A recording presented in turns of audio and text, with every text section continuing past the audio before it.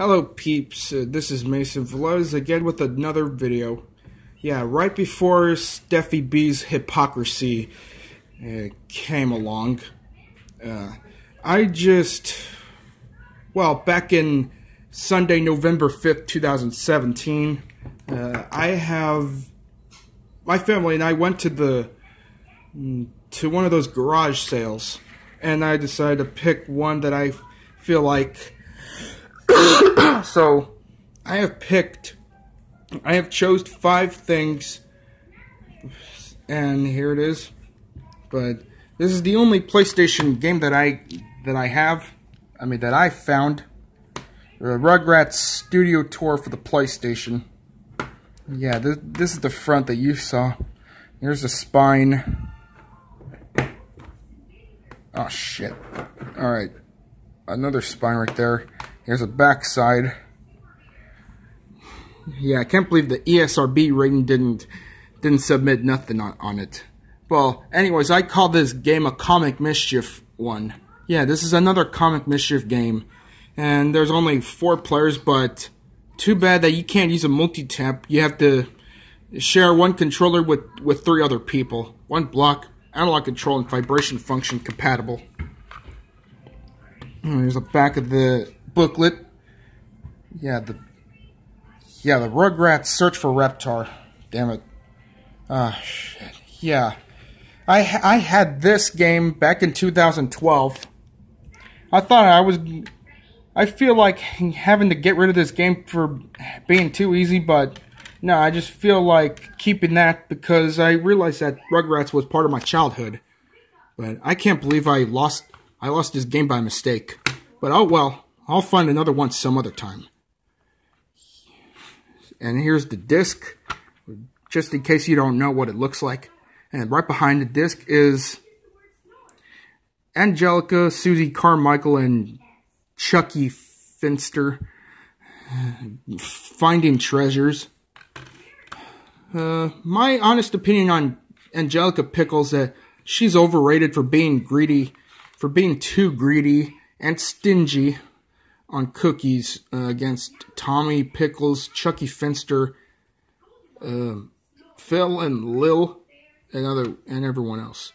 But and I'm also neutral towards Susie Carmichael just because that she was never mentioned on the Search for Reptar game except except in this golf Ice Cream Mountain golf game. But too bad that she couldn't I couldn't hear the voices. Alright, now I have Friday the 13th, Part 7, The New Blood. Yeah. Oh, sorry about that. I was getting shaky because of fly on my damn arm. Yeah, you see the front. There's a spine. There's a back of that. Yeah, there's special features. Um, this is a deluxe version. Yeah, it was released by 2009.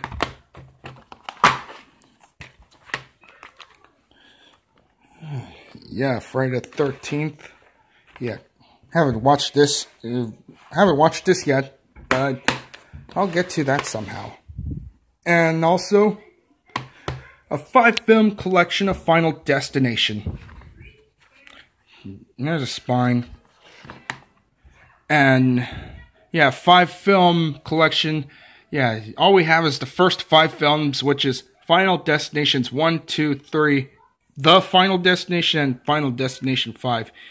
You you guys can call it The Final Destination or 2009. I'm talking about the 2009 version of Final Destination. Yeah, the Final Destination or Final Destination 2009, but I call the 2009 film of Final Destination Final Destination 4.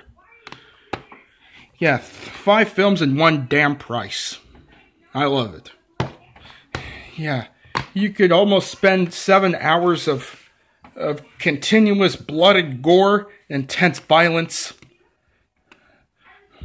uh, endless carnage of blood and gore, and I've really loved that since Mortal Kombat and Grand Theft Auto, but mostly Mortal Kombat. So this is, but you still have the same releases as the original ones. So yeah, this is Final Destination 1, Final Destination 2, yeah, CD-ROM, DVD-ROM, or whatever it is.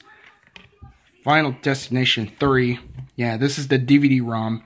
I only have two DVD videos that contains DVD-ROMs on, on the computer, but I don't have a computer anymore. But I wish I had a laptop with a with the CD insert where you can where you can insert DVDs onto your computer for a DVD-ROM or whatever it is. All right, the Final Destination. This, this is just clear. More like Final Destination 4. Yeah, Final Destination 5. Well, I'm not trying to pick on New Line Cinema, but shame on Warner Brothers and New Line Cinema for confusing the first Final Destination movie and the fourth movie of the Final Destination instead of putting the Final Destination, which says it's supposed to be Final Destination 4. Yeah, how about that? But now let's not take New Line Cinema or Warner Brothers too serious. Because I, I like that company. and also we have the Terminator.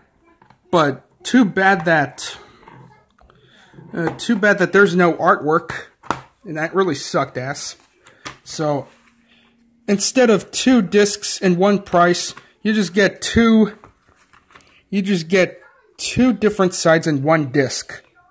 Yeah, talk about talk about vinyl records logic. Yeah. So side one, this is the the Terminator DVD, and side two is some special features. So, yeah, talk about vinyl records logic, where vinyl records logic is is you take that as an example. If you own a vinyl version of the record vinyl version of Metallica Kill 'Em All with the, uh, the 1988 reissue version, you would have uh, seven seven tracks in in side A and five tracks in side B. Oh yeah, and also I have Wayne's World, Wayne's Worlds one and two. This is a it's got to be a special collection, but in one disc. That's really cool. Yeah, so that's the spine. Here's the back. So,